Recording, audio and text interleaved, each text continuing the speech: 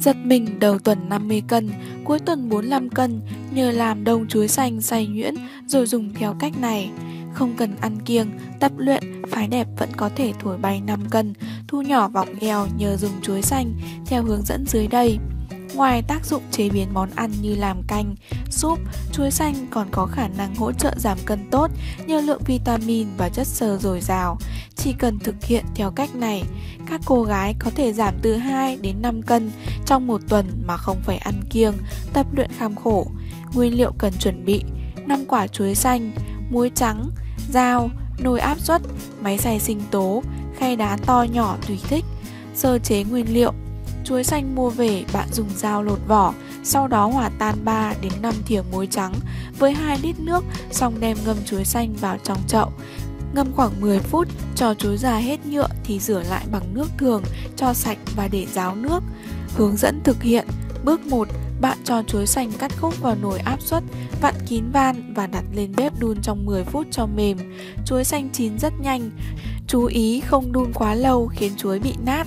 Bước 2. Khi chuối chín, bạn tiếp tục đổ chuối sang máy xay sinh tố, đem xay thật nhuyễn khoảng 1 đến 2 phút rồi dừng lại. Bước 3. Đổ phần chuối vừa xay vào các ô nhỏ của khay đá, dùng màng bọc thực phẩm phủ kín lại và cho lên ngăn đá tủ lạnh để cấp đông, sử dụng dần. Cách sử dụng Mỗi ngày, bạn ép một cốc nước trái cây tùy thích hoặc nước cam, nước táo hay nước lựu. Sau khi lọc bã được nước ép nguyên chất, bạn thả 2 đến 3 viên đá chuối xanh xay nhuyễn vào chung, khuấy đều cho tan rồi uống hết. Nếu uống không, bạn hãy bỏ 10 viên ra cốc, thêm hai thìa nước để đá nhanh tan rồi uống nguyên nước chuối xanh cũng rất tốt.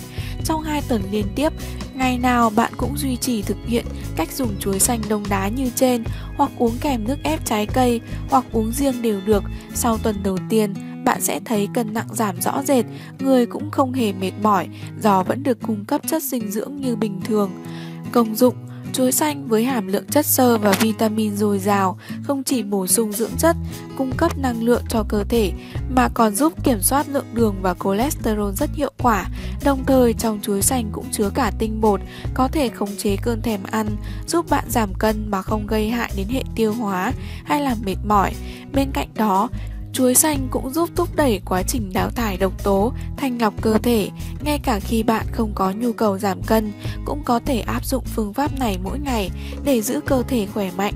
Chú ý kết hợp chế độ ăn lành mạnh trong quá trình giảm cân, không dùng chất kích thích, tăng cường rau xanh và hoa quả, tránh ăn nhiều thực phẩm có dầu, mỡ, chất béo, ngủ đủ giấc, đúng giờ, uống 2 lít nước mỗi ngày và đi bộ hoặc tập yoga 30 phút hàng tối để thúc đẩy tốc độ giảm cân. Chúc các bạn thành công! Cảm ơn bạn đã theo dõi video. Hãy cho chúng tôi biết suy nghĩ của bạn bằng cách comment bên dưới. Nếu thấy hay, hãy like và chia sẻ cho mọi người cùng xem. Và đừng quên nhấn subscribe để nghe những hướng dẫn mới nhất từ channel giảm cân nhanh T2VTV. Còn bây giờ, xin chào và hẹn gặp lại trong những video tiếp theo.